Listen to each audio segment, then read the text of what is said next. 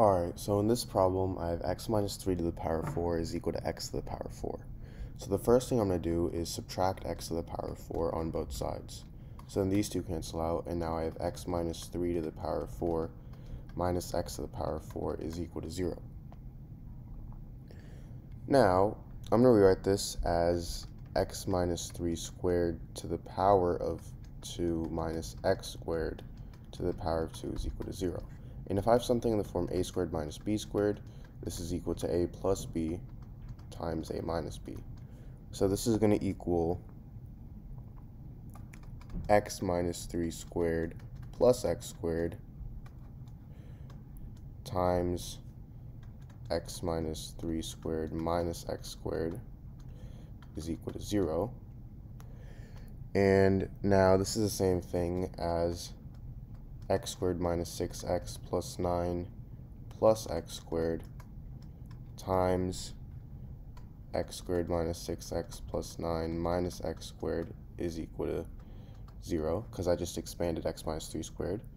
So now I'm going to simplify this to 2x squared minus 6x plus 9 times negative 6x plus 9 is equal to 0.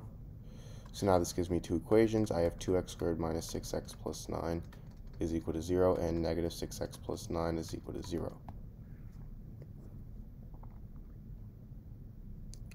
So for negative 6x plus 9 equals 0, I get 9 is equal to 6x, and x is equal to 9 over 6, which is equal to 3 over 2. So this is one solution of x.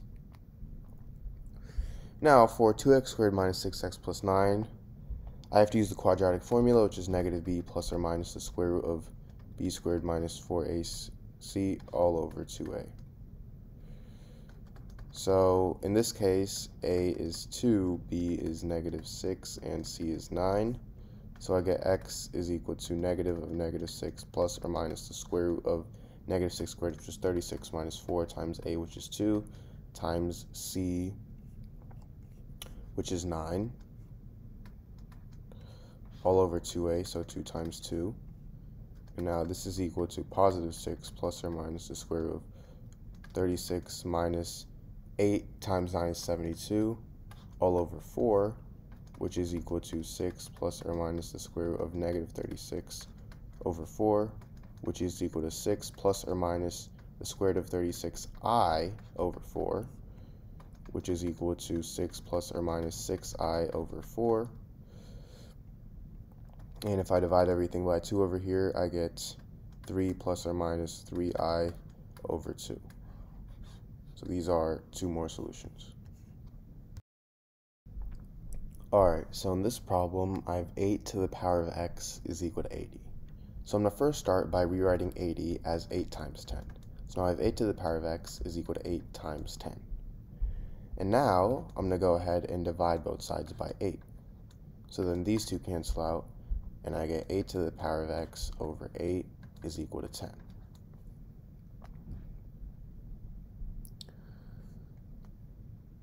Now, if I have something in the form a to the power of m over a to the power of n, this is equal to a to the power of m minus n. So a to the power of x over 8, well 8 is the same thing as a to the power of 1, so I get a to the power of x minus 1 is equal to 10. Now, 8 I can rewrite as 2 to the power of 3. So now I have 2 to the power of 3 to the power of x minus 1 is equal to 10. And if I have something in the form a to the power of m to the power of n, this is equal to a to the power of m times n. So 2 to the power of 3 to the power of x minus 1, that's going to equal 2 to the power of 3 times x minus 1 and I can simply distribute the 3, so I have 3 times x minus, or sorry, plus 3 times negative 1. So 3 times x is 3x, and 3 times negative 1 is negative 3. So I have 2 to the power of 3x minus 3 is equal to 10. Now I'm going to take the log on both sides, so I get log of 2 to the power of 3x minus 3 is equal to log of 10. And if I have something in the form log a to the power of b, I can move this exponent b to the front. So this can equal b times log a. So in this case, b is 3x minus 3, so if I move this to the front, I get 3x minus 3 times log 2 is equal to log 10. Now, log 10, that's actually equal to 1. So now I have 3x minus 3 times log 2 is equal to 1. Now, if I divide both sides by log 2, these two cancel out, and I get 3x minus 3 is equal to 1 over log 2. Now, if I add both sides by log 3, these two cancel out, so I get 3x is equal to 1 over log 2 plus 3.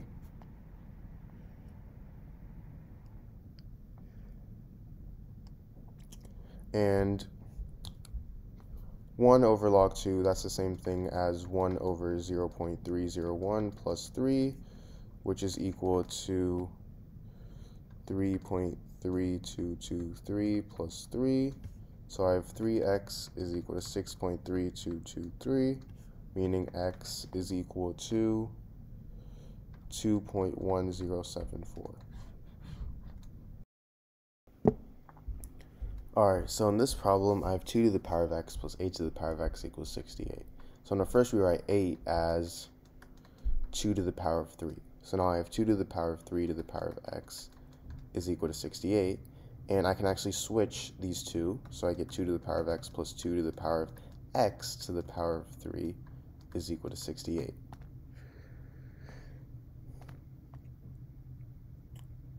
Now I'm going to let 2 to the power of x equal to the variable y. So now I have y plus y to the power of 3 minus 68 is equal to 0. And this is the same thing as y to the power of 3 plus, I'm going to write y as 17y minus 16y minus 68 is equal to 0. And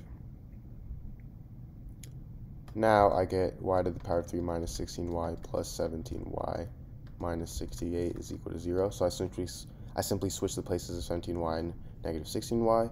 And now from y to the power of 3 minus 16y, I'm going to factor out y. So I get y times y squared minus 16 plus from 17, or sorry, from 17y minus 60, I'm going to factor out 17. So I get 17 times y minus 4 is equal to 0. And it's the same thing as y times y plus 4 times y minus 4. That's equal to y squared minus 16 plus 17 times y minus 4 is equal to 0. Now if I factor out y minus 4, I get y minus 4 times y times y plus 4 plus 17 is equal to 0. And this is equal to y minus 4 times y squared plus 4y plus 17 is equal to 0. So now this gives me two equations. I get y minus 4 is equal to 0, and y squared plus 4y plus 17 is equal to 0. So for y minus 4 equals 0, y is obviously equal to 4, so I get one solution.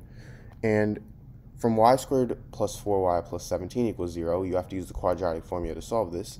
And if you actually do end up using the quadratic formula, I'm not going to do it because it's a waste of time, but you get that there is no solution, but you get the, because you get the square root of a negative number and you can't take the square root of a negative number.